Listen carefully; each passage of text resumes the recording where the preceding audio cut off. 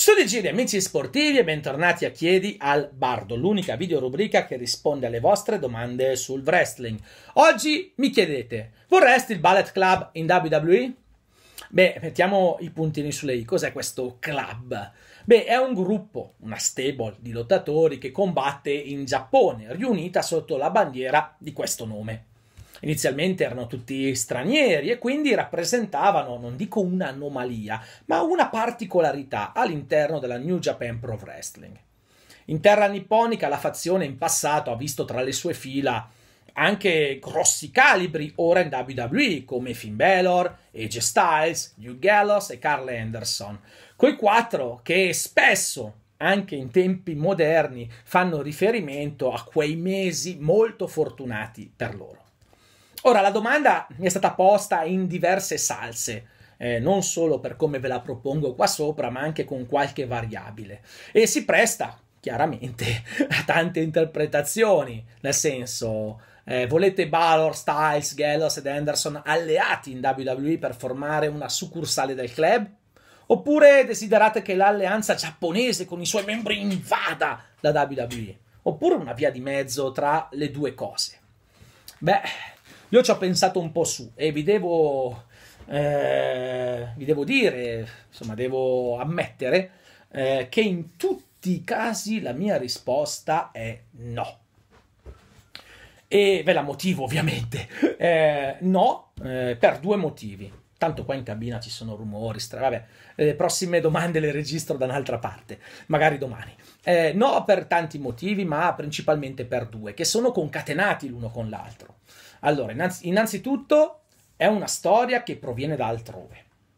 E proporla per puntare sull'effetto eh, charmante no? mm, eh, del nome del club, il Ballet Club, eh, su una fetta specifica di pubblico, cioè quella che segue le federazioni mondiali, le indipendenti, eccetera, beh, sarebbe una trovata facile, a buon mercato, sinonimo di pigrizia e di ozio, tutto il contrario di quello che io desidero. E infatti arriviamo alla seconda motivazione, ovvero che io preferisco cose nuove, creative, sorprendenti, magiche eh, e non consu- la solita consuetudine inceppante che si eh, riproduce e si replica senza mai mutarsi.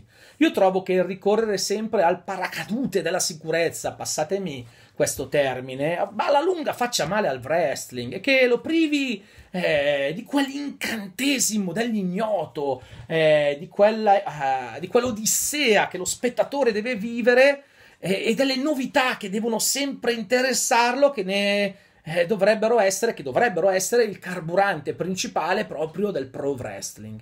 I tizi del Ballet Club del passato, oppure quelli odierni, beh, insomma, è fuori discussione. Sono preparati, validi e le loro competenze sono riconosciute eh, senza proprio mettersi neanche a discutere. Però quel ruolo, il ruolo del club, lo hanno già interpretato c'è già stato. E la WWE dovrebbe avere la forza autorale per dare loro, sia quelli presenti, sia eventualmente, se mai ci saranno, quelli futuri che da lì arrivano, beh, dovrebbe dare loro degli scenari inediti, nuovi, eh, degli scenari che non sono un tentativo di scimmiottare il passato come già è stato fatto. E per questo il club per me non ha senso di esistere nei confini della compagnia dei McMahon. Questa è la mia opinione. Però chiaramente nel campo delle opinioni, beh, ognuno ha le sue, no?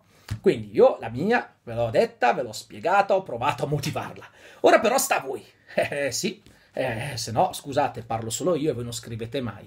Dite a Roventi, qua sotto nei commenti, ditemi se voi vorreste questo club con gli atleti di oggi, con quelli che ci sono altrove, come lo gestireste, oppure se siete d'accordo con me e preferite non una minestra riproposta, ma una pietanza creativa nuova che esce dalla cucina con addosso quel profumo che sa di ignoto e di mistero. Mm?